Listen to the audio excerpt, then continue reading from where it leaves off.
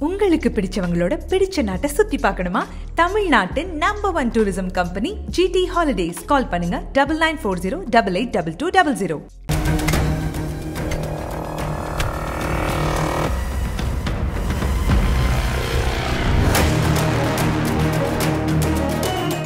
sir வணக்கம். வணக்கம். இந்த வாரம் அறிந்து அறியாமலும் நடிகர் இல்ல நடிகை. ம். ராதிகா அவர்கள். கலையரசி.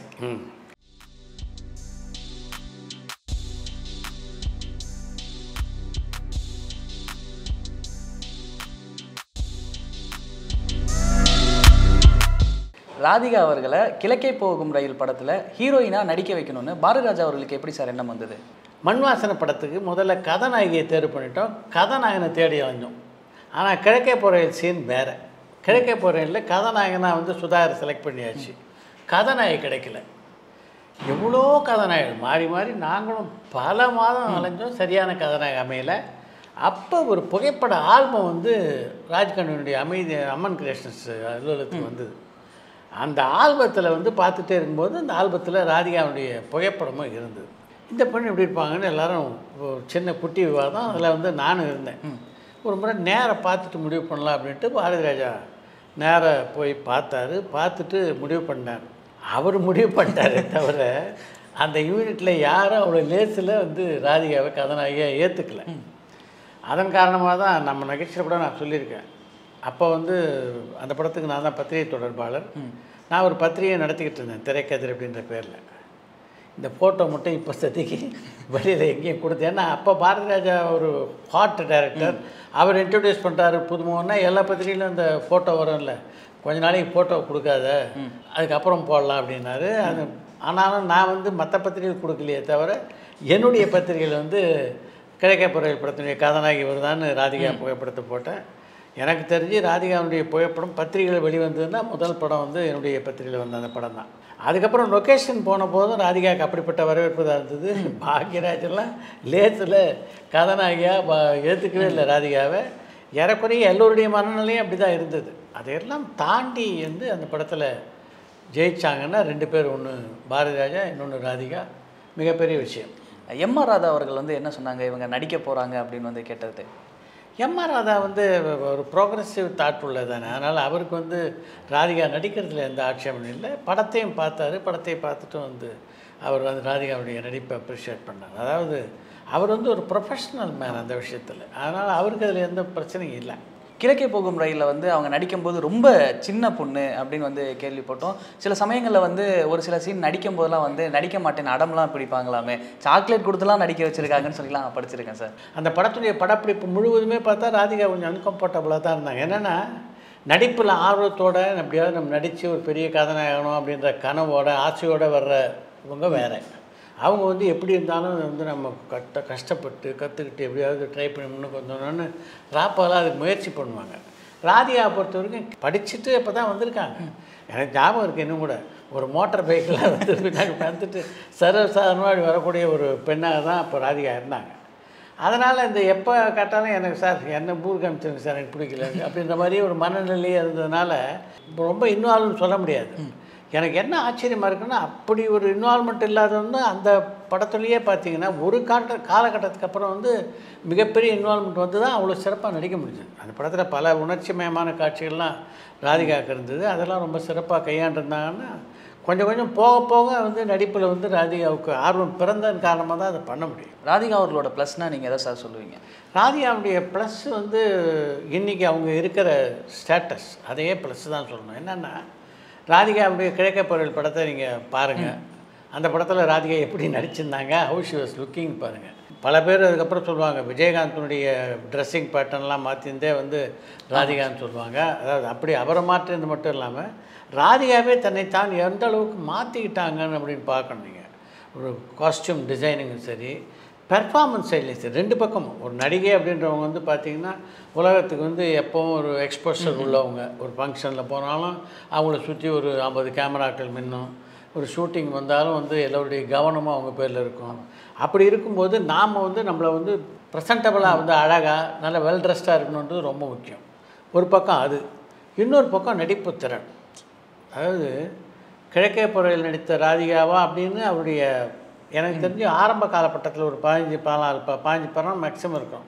அது வரைக்கும் தான் கொஞ்சம் வந்து அவங்களுடைய பெர்ஃபார்மன்ஸ் கொஞ்சம் கம்மியாக இருந்து சொல்லணும் அதுக்கப்புறம் பார்த்தீங்கன்னா ஒரு படத்துக்கு ஒரு படம் வந்து இம்ப்ரூவ் பண்ணிட்டே இருந்தாங்க. எல்லா பாத்திரங்களும் பலதரப்பட்ட இயக்குனர்கள் தெலுங்கு தமிழ் கன்னடம் மலையாளம்னு எல்லா மொழியிலேருந்தும் வந்து பல இயக்குனர் விரும்பி ராதிகாவை தங்களுடைய படங்களில் ஒப்பந்தம் பண்ணாங்கன்னா அதுக்கு காரணம் அவர்கிட்ட இருந்த அசாதாரணமாக நடிப்பு திறன் தான் இன்றைக்கி கூட பட்டைய கிளப்பிட்டு தான் இருக்காங்க. இப்போ இன்றைக்கி கூட பல முக்கியமான கதாபாத்திரங்களில் வந்து ராதிகா வந்து இயக்குனர் தேர்ந்தெடுக்கிறாங்கன்னா அதுக்கு காரணம் அந்த திறமை தான். சார் ராதிகான்னு சொன்னோனையும் மறக்க முடியாத நினைவுகள் ஏதாவது இருக்கா சார்?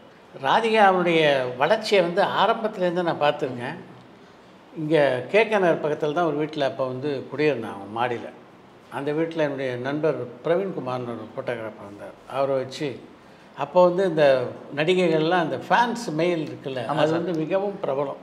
அதே மாதிரி ரசிகர்கள் கடிதம் எழுதினாங்கன்னா உடனே ஃபோட்டோ வந்து அனுப்பிச்சதுடன் உங்களுடைய விருப்பப்படி இந்த புகைப்படத்தை அனுப்பிச்சிருக்கேன். உங்களுடைய ஊக்கத்துக்கு ரொம்ப நன்றி அப்படின்னு பாராட்டி லெட்டர்லாம் எழுதுவாங்க. இதெல்லாம் அப்போ இதுக்கு வந்து ஒரு செக்ரட்டரியே வச்சுருப்பாங்க எல்லா நடிகைகளும். இப்போ மெல்ல மெல்ல இப்போ மின்னஞ்சல் ஃபேஸ்புக் இது மாதிரி சமூக வலைதளங்கள் பெருகிறதுக்கு பின்னாடி அதெல்லாம் போயிடுச்சு. அப்போ அந்த ஃபோட்டோலாம் ராதிகா வீட்டில் போய் நானும் பிரவீன்குமாரும் ஒரு ஏழு எட்டு மணி நேரம் எடுத்திருக்கோம். கொஞ்ச காலம் வந்து ராதிகாவுடைய பற்றி செய்திகள் பத்திரிகைலாம் வர்றதுக்கெல்லாம் நான் வந்து நிறைய அவருடைய ஆரம்ப கட்டத்தில் உதவி பண்ணேன் நான். சார் நீங்கள் ஆரம்பத்தில் இப்போ இந்த வீடியோ ஆரம்பிக்கும் போதே சொல்லியிருந்தீங்க. பாக்கியராஜ் அவர்களுக்கெல்லாம் வந்து உடன்பாடே இல்லை அப்படின்னு சொல்லிட்டு இந்த முதல் படத்தில் இவங்க ரெண்டு பேர்த்துக்குமே வந்து ஏகம் பொருத்தமாக இருக்குமாமே சார்? ஆமாம்மா என்னென்னா இது வந்து எல்லா உதவி இயக்குனருக்கும் உள்ள விஷயந்தான் எப்போ குறிப்பாக இன்னொரு விஷயம் நான் வந்து அடிக்கடி என் நண்பர்கள்ட்டெல்லாம் சொல்லுவேன். நீங்கள் ஒரு இடத்துல இல்லாத போது அங்கே நடக்கிற விஷயம் இருக்குல்ல அது எப்போவுமே நமக்கு சரியில்லாத மாதிரி தோணும்.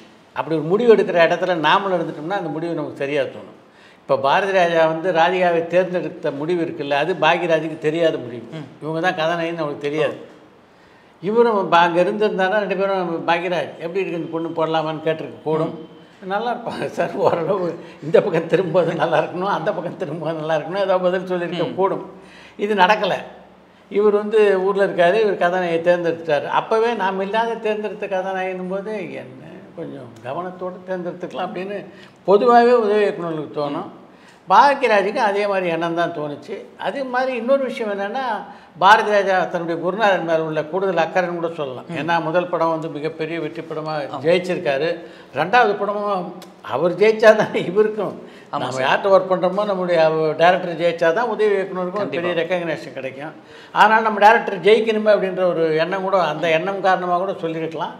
அதுக்கப்புறம் அதே பாக்கியராஜ் தன்னுடைய படங்கள் பலவற்றில் வந்து கதாநாயகா தேர்ந்தெடுக்கின்ற அளவுக்கு ராதிகா மாறினது தான் ராதிகாவுடைய ப்ளஸ் எஸ் சார் இப்போ யாரை வந்து கதாநாயகியாக முதல் படத்தை ஏற்றுக்க பாக்யராஜ் மறுத்தாரோ அதே பாக்யராஜோட பல வெற்றி படங்களில் ராதிகா நடிச்சிருக்காங்கன்னா அதுதான் ராதிகாவுடைய ப்ளஸ்ஸாக நான் பார்க்குறேன் ராதிகா அவர்கள்னு சொல்லும் போதே இந்த படம் பேரும் சேர்ந்து வரும். கிழக்கு சீமையிலே அப்படின்ற அந்த படத்தையும் சேர்த்து சொல்லுவாங்க. அந்த படம் நடிக்க போகும்போது கூட வந்து அவங்களுக்கு கதை சொல்லப்படலை அப்படின்னு சொன்னாங்களே சார். அது உண்மையா சார்? அது வந்து கதை சொல்லப்படலாம் கிடையாது. கதையை பற்றி ராதிகாவுக்கு தெரியும். அப்போ தான் அந்த ரயான் பிறந்திருந்தாங்க. அதனால் படத்தில் ஷூட்டிங் போகிற மனநிலையில் ராதிகா இல்லை. பாரதி ராஜா படமாக இல்லாத இருக்கும் பட்சத்தில் எனக்கு தெரிஞ்சு அந்த படத்தில் அவங்க நடிச்சிருக்க வாய்ப்பு இல்லை அப்படின்னு தான் நினைக்கிறேன். பாரதி ராஜாவுக்கு வந்து ராதிகா மேலே இருந்த உரிமை அதாவது முதல் படத்தில் நாம் தான் அறிமுகம் பண்ண நடிகை அப்படின்னு இந்த உரிமை காரணமாக அந்த படத்தை நீ நடிக்கணும்னு சொல்லி கூப்பிட்டு வந்துட்டார். கை குழந்தையோட தான் படப்பிடிப்புக்கு வந்தாங்க.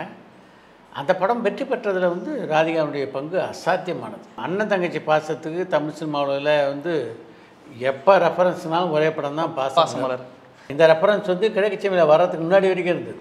இப்போ அண்ணன் தங்கச்சி பாசம்னா ஒன்று வந்து பாசமலர் அடுத்து கிழக்குச்சமிலை அப்படின்னு சொல்கிற அளவுக்கு அந்த படம் அதாவது சிவாயணசனும் சாவித்திரியும் வந்து சாதித்து காட்டியதை வந்து இவங்க பண்ணாங்க அப்படின்னா சாவித்திரி புஷ் பொஷன் வந்து ராதிகா பண்ணாங்கன்னா மிகப்பெரிய விஷயம். கிழக்கு சீமையில செட்டில் மறக்க முடியாத அனுபவங்கள் ஏதாவது இருக்கா சார்? கடுமையான வெயில் அப்போ தான் வந்து குழந்தை பிறந்து கை குழந்தை ஒரு பக்கம். இப்படி இத்தனை பிரச்சனை நடுவுலையும் வந்து சூப்பர் ஸ்டாரோட அந்த இட்லியை போட்டுட்டு வந்து மூணு மணிக்கெலாம் சாப்பிடுன்னு வந்து சொல்லுவாங்க. பசுமன் படப்பிடிப்பில் வந்து ராதிகா வந்து சிவகுமாரை பண்ணாத கிண்டல் கிடையாது. அவ்வளோ கிண்டல் பண்ணுவாங்க. ஆனால் நம்ம யாரும் வந்து சீரியலில் நடித்து சினிமாவில் நடிச்சுக்கிட்டு ஒருத்தர் வந்து சக்ஸஸ்ஃபுல்லாக இருக்க முடியும்னு ப்ரூவ் பண்ணது மட்டும் சொல்லலை. அந்த காலகட்டத்தில் ஒரு ப்ரொடியூசராக தன்னை வந்து பரபரப்பான சினிமா செய்திகள் நட்சத்திரங்களின் பேட்டிகள் சினிமா வரலாறு ஆகியவற்றை பார்க்கவும் படிக்கவும் உங்களுக்கான இணையதளம் tour and talkies dot co